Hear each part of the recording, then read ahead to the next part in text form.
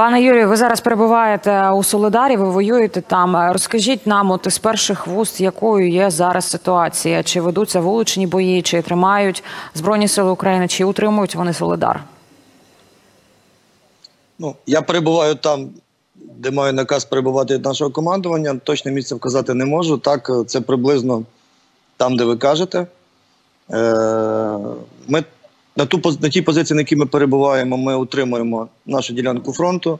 Противник постійно намагається атакувати. Е, Вчора серед дня противник йшов відкритою групою на нас, е, намагався просунутися вперед. Був зустрітий вогнем нашого гранатомету МК-19 і важкого кулемету Браунінг. Е, Частина вагнерівців достроково купила собі путівки повернення додому. Щоправда, тоді, коли до них повернуться за пакетами, інші мусили втікати. Е, Вночі відбили чергову атаку ворога. Зараз е, не знаю, чи ви чуєте, на вулиці триває мінометний обстріл. Ворог беззупинно намагається атакувати. Ми відповідаємо, але на нашій ділянці фронту ми фронт тримаємо надійно і міцно. Щодо іншої ситуації, мені важко сказати, бо, на жаль, бачу війну крізь амбразуру і крізь приціл свого гранатомета, не володію загальною стратегічною інформацією. Єдине, що ще раз можу зазначити, що тут, де перебуваю я і мої побратими зараз, ворогу не вдалося, попри намагання просунутися вперед.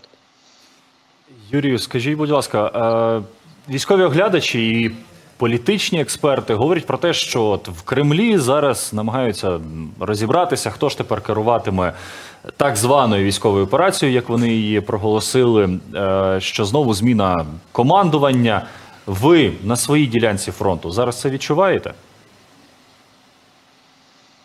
Е, Ми відчуваємо, починаючи від умовно старосвітського різдва після 7 січня, що ворог знову поміняв тактику своєї війни.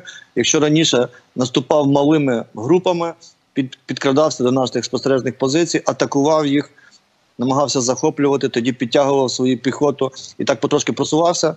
То зараз ворог попер прямо знову великими групами людей, не ховаючись. Це виглядає дуже дивно, бо важко собі уявити, як, наприклад, якусь відкриту ділянку може пройти певна кількість людей непоміченими. Ми помічаємо їх з дронів, фіксуємо, наводимося чітко. Тобто, ми бачимо, е, нам зараз тут конкретно протистоять вагнерівці. Не знаю, хто попереду з них біжить. Ми якби наколки їхні не бачимо, бо намагаємося зупиняти їх на дальних підступах.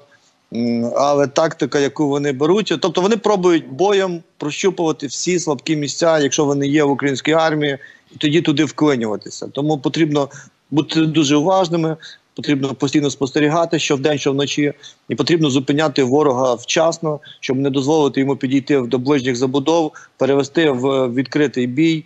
Нам, наприклад, це не дуже вигідно в такий близький рукопашний бій. Нам це не дуже вигідно, тому що наш гранатомет може вбивати ворога на відстані двох кілометрів. Тому, звичайно, його не підпускати, не давати йому жодних шансів, щоб він міг вражати наших, е, наших побратимів. Але так ми бачимо, що він пре нахабно, пре е, очевидно поставлені Кремлем якісь цілі.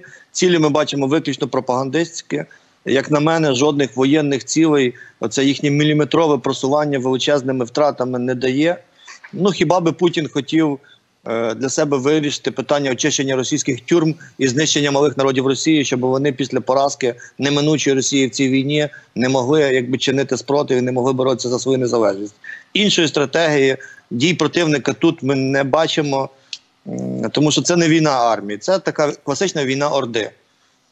Пане Юрію, щодо техніки, боєприпасів і снарядів, чого бракує на тепер саме от на вашій ділянці, там де вам видно, чого бракує нашим українським військовим? Це якби військова таємниця, але солдатам, як дітям, не вистачає іграшок, солдатам не вистачає бо- бо- боєприпасів. Нам не вистачає боєкомплекту. Ми намагаємося економити. Ми розуміємо, що буде в нас боєприпасів. Чим більше буде боєприпасів в артилерії, чим менше буде снарядного голоду, який, на жаль, теж спостерігається, тим менше українських солдатів солдат буде гинути. Тому зараз дуже важливо. Ми, от, наприклад, працюємо на американському М15, ми називаємо Марко 19, то ми відчуваємо певний снарядний голод. Очевидно, якби більше, більше набоїв, тим менше шансів ворогів було б взагалі просунутися.